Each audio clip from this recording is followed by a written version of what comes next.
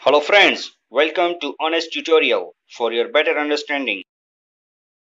Hello friends, this is Akram Sheikh and you're watching Honest Tutorial. Friends, today we are going to discuss about the causes of the business risk. हमने हमारे last video के अंदर हमने देखा था business risk कितने प्रकार के होते हैं तो वो है दो प्रकार के natural risk and man made risk अब आज हम लोग डिस्कस ये करेंगे कि किस वजह से ये रिस्क बिज़नेस के अंदर आते हैं कौन कौन सी वजह है जिससे बिज़नेस में रिस्क आ सकता है तो सबसे पहले पॉइंट जो है, वो है हमारा change in technology changes are necessary in production method due to invention in technology यानी चेंजेस होना ज़रूरी है। जैसे जैसे टेक्नोलॉजी बढ़ेगी, वैसे वैसे बिज़नेस की जो प्रोडक्शन की टेक्नोलॉजी उसमें भी चेंजेस होना ज़रूरी है। New technology is to be adopted to produce high quality goods अगर हमें अच्छी और बेहतरीन अगर क्वालिटी वाली अगर गुड्स को अगर प्रोडक्ट प्रोड्यूस करना है तो न्यू टेक्नोलॉजीज़ जो मार्केट में आ रही है, उसको हमें अपनाना पड़ेगा। New machineries have to be installed for the replacement of the old machinery old machineries और जो नई टेक्नोलॉजी के मुताबिक अगर हमें प्रोडक्शन करना है तो हमारे पास जो पुरानी मशीनरीज है, उसको हमें रिप्लेस करना पड़ेगा। किससे? हमें नई मशीनरीज अपने फैक्ट्री या शॉप या जो भी है, उसके अंदर हमको इंस्टॉल करना पड़ेगा अगर हम ये नहीं करते तो फिर ये हमारा, हमारे लिए बिज़नेस का एक कोज हो जाएगा यानी कि एक कारण बनेगा कि हमें इस वजह से हमारा बिज़नेस के अंदर अब हम लोग डाउन हो रहे हैं then the second one is threat of substitute products. The customers may turn to substitute product due to change in technology. Example, एक एग्ज़ाम्पल देते यानी कि कस्टमर जो है, वो सब्सटीट्यूट प्रोडक्ट यानी उसके जैसी दूसरी कोई प्रोडक्ट की तरफ़ जो इस्तेमाल करता है, उसके जैसी ही दूसरी कोई प्रोडक्ट की तरफ़ वो मूव हो जाएगा, यानी कि कन्वर्ट हो जाएगा। किस वजह से? क्योंकि टेक्नोलॉजी चेंज हो गई है, इसकी वजह से। तो एक एग्जांपल देखते हैं। Ball pen in place of the fountain pen पहले के ज़माने में क्या होता था? फाउंटेन पेन यूज़ होती थी। आजकल उसमें क्या आता है? बॉल पेन हम लोग इस्तेमाल करते हैं। फिर सेकंड एग्ज़ाम्पल है। Vessels of steel in place of the copper and brass आजकल हम लोग कौन से बर्तन में खाना खाते हैं? स्टील के बर्तन में। पहले कौन से बर्तन में खाना खाते थे?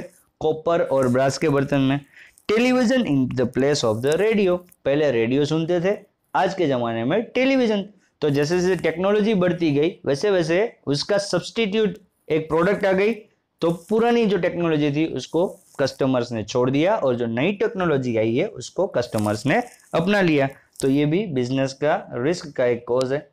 Third point is the competition competition increases the business risk which directly affect the business profit competition यानी कि हम जो प्रोडक्ट जो प्रोड्यूस कर रहे हैं सेम टू सेम अगर बिज़नेस कोई और कर रहा है, और कोई बिज़नेस यूनिट वही के वही प्रोडक्ट अगर इंट्रोड्यूस करती है मार्केट के अंदर तो ये हमारे लिए वो हो गया हमारे लिए कॉम्पिटिटर तो कंपटीशन अगर बढ़ेगी, यानी कि जितने ज़्यादा हमारे जैसे प्रोडक्ट बनाने वाले जितने ज़्यादा मैन्युफैक्चरर्स बनेंगे, उतना हमारे को बिज़नेस में रिस्क बढ़ जाएगा। The sale price of the product is to be reduced and advertisement expense are to be incurred by business unit to maintain its position in market and to face competition thus profit gets reduce अब क्या होगा, जितने ज़्यादा producers हम जिस तरह का goods हम प्रोड्यूस करते हैं, हमारे जैसा गुड्स दूसरे प्रोड्यूसर्स पाँच छः सात, आठ ऐसे अगर बढ़ गए तो फिर क्या होगा? हमें मार्केट में एक अपना नाम बनाने के लिए, हमें मार्केट में खड़े रहने के लिए क्या करना पड़ेगा? एडवर्टाइजमेंट ज़्यादा करनी पड़ेगी। तो एडवर्टाइजमेंट ज़्यादा करेंगे तो क्या हो जाएगा? हमारा एडवर्टाइजमेंट के ऊपर एक्सपेंस यानी कि खर्चा बढ़ जाएगा। अब एडवर्टाइजमेंट पे हमारा खर्चा बढ़ गया तो फिर क्या करेंगे?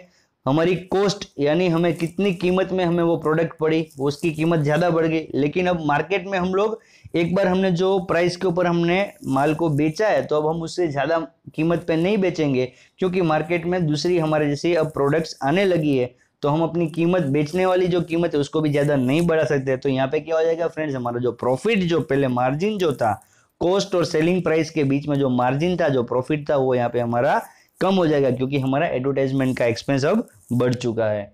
तो ये भी एक रिस्क बिज़नेस रिस्क का एक कोज है, यानी कि कारण है। फिर फोर्थ पॉइंट है हमारा legislation government formulates law regarding pollution customers workers industries etcetera but these laws cause risk for the business government है, क्या करती है? पॉलिसीज़ बनाती है। जैसे कि पोल्यूशन के रिगार्डिंग अगर कोई पॉलिसी बनाई यानी कि कानून बनाया कि आ, जो फैक्ट्रीज जो होती है तो इतना केमिकल से इतना धुआँ ही बाहर निकलना चाहिए इससे ज़्यादा नहीं निकलना चाहिए या फिर इतना पोल्यूटेड वाटर से ज़्यादा नहीं होना चाहिए। ये सब के ऊपर कुछ उनकी रेस्ट्रिक्शंस होते हैं। फिर कस्टमर्स के तरफ़ भी कुछ गवर्नमेंट ने पॉलिसीज़ बनाई है, जैसे कि कंज्यूमर प्रोटेक्शन एक्ट बनाया गया है। फिर वर्कर्स के लिए फैक्ट्री में जो काम करते थे, उनके लिए भी वर्कर्स के लिए भी एक्ट बनाया गया गवर्नमेंट ने, कि इतने घंटे से ज़्यादा वो लोग काम नहीं कर सकते हैं, या फिर इतनी उम्र से के, उतनी उम्र से, यानी कि चौदह साल से कम उम्र के लोग उसमें काम नहीं कर सकते इंडस्ट्रीज़ के लिए भी कुछ एक्ट बनाए गए हैं। तो ये सारे एक्ट जो है, वो गवर्नमेंट ने फॉर्मुलेट किए किसके लिए? बिज़नेस यूनिट्स के लिए। But these laws cause risk for the business और ये सारे कुछ ना कुछ रेस्ट्रिक्शंस की वजह से बिज़नेस को कुछ ना कुछ यहाँ पे रिस्क होता है। एग्ज़ाम्पल ले लेते हैं हम एक। Minimum wages act and factory act they hinder the business in decision making अब मिनिमम यानी कि क्या होता है कि कहीं ऐसा जो गवर्नमेंट का एक पॉलिसी है कि कम से कम इतनी मजदूरी तो जो काम कर रहे हैं उसको इतनी मिलनी चाहिए। मिनिमम वेज यानी कि इतनी कम से कम मजदूरी इतनी मिलनी चाहिए। अब इतनी अगर मजदूरी देंगे कम से कम जो बोली है वो ज़्यादा, वो इतनी ज़्यादा हो जाती है कि फिर उसको जो प्रोडक्शन कॉस्ट जो है वो बहुत ज़्यादा हो जाती है तो फिर उसका जो प्रॉफिट मार्जिन है वो कम हो जाएगा। क्यों? क्योंकि यहाँ पे बिज़नेस को गवर्नमेंट की तरफ़ से एक लॉ के मुताबिक उसको बोला गया है कि एक उसके यहाँ पे जो एम्प्लॉय काम करता है उसको मिनिमम इतनी सैलरी या इतना उसको वेजिस उसको मिलना चाहिए। तो उसकी प्रोडक्शन कॉस्ट उसकी बढ़ जाती है गवर्नमेंट के लो की वजह से। तो यहाँ पे उसका प्रॉफिट मार्जिन उसका कम हो जाता है।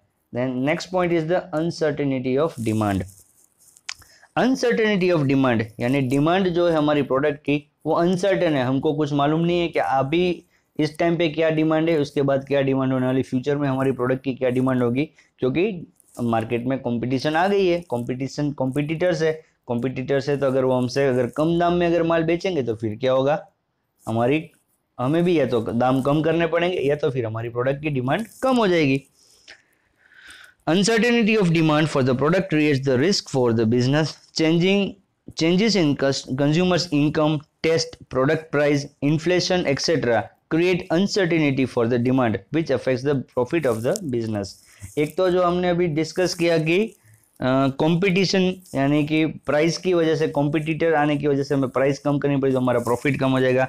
और भी दूसरे इसमें रीजंस हो सकते हैं। अनसर्टिनिटी जो कौन सी होती है? Change in consumers income customer की अगर इनकम में चेंज हो गई तो अगर उसकी इनकम बहुत ज़्यादा होने लगी है तो अब वो क्या करेगा? कुछ स्टैंडर्ड चीज़ खरीदेगा। यानी कि और जो महँगी चीज़ होगी, वो महँगी चीज़ों का इस्तेमाल करना शुरू कर देगा। तो ये भी एक रीज़न हो सकता है। फिर प्रोडक्ट की जो प्राइस तो हमने डिस्कस किया, फिर टेस्ट है, बराबर है। कंज्यूमर का टेस्ट चेंज हो गया। पहले कुछ अलग प्रीफर करता था, अब कुछ और प्रीफर करने लगा है। तो ये सारी क्या है? अनसर्टेनिटीज है डिमांड के अंदर आ सकती है। और लास्ट जो हमारा पॉइंट है कॉज ऑफ़ बिज़नेस रिस्क का, वो है हमारा physical risk damage to the asset which are utilize in business create physical risk non functioning of machinery and equipments damages in transit of goods create physical risk अब physical risk यानी क्या जो goods जो transportation में, यानी कि एक plant है जहाँ पे वो मैन्युफैक्चरिंग हो रहा है, वहाँ से हम लोग जो पूरा गुड्स जो है वो हम अदर जहाँ पे हमें बेचना है, उस जगह पे पहुँचा रहे तो जो ट्रांजिट यानी कि जो ट्रांसपोर्टेशन के अंदर जो गुड्स आ रहा है तो हो सकता है रास्ते के अंदर कुछ भी एक्सीडेंट हो सकता है या कोई भी रीज़न से अंदर माल में कुछ खराबी हो गई है, कुछ टूट फूट हो सकता है। तो ये सारा डैमेजेस जो हो रहा है, ये फ़िज़िकल रिस्क है। ये सारा डैमेजेस जो है, वो भी एक बिज़नेस का एक रिस्क ही है। तो फ्रेंड्स जो अभी हमने डिस्कस किया, वो थे कोजिस ऑफ़ बिज़नेस रिस्क यानी कि किस किस वजह से ये कारण है बिज़नेस रिस्क के। तो इसको होप आप लोग सब अच्छी तरह से समझ चुके होंगे। अगर आपको कोई भी डाउट है तो आप मुझे कमेंट बॉक्स के अंदर आपका क्वेश्चन पूछ सकते हैं, और अगर आपको वीडियो अच्छा लगा है तो आप मुझे अपने रिव्यू भी कमेंट बॉक्स में भेज सकते हैं। फ्रेंड्स, हम हमारे नेक्स्ट वीडियो में जो है, हम डिस्कस करेंगे जो प्रोफेशन यानी कि इकोनॉमिक एक्टिविटी का जो अनदर टाइप जो है, वो है प्रोफेशन तो प्रोफेशन और एम्प्लॉयमेंट हम लोग जो है, वो हमारे नेक्स्ट वीडियो के अंदर हम लोग इसको कवर करेंगे। Okay friends bye bye take care